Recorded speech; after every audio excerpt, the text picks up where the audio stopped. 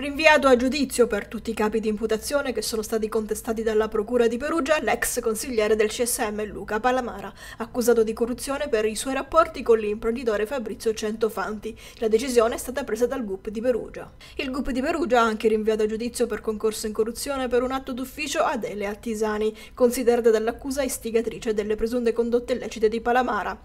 Il processo a lei e all'ex magistrato comincerà il 15 novembre prossimo davanti al primo collegio del Tribunale di Perugia.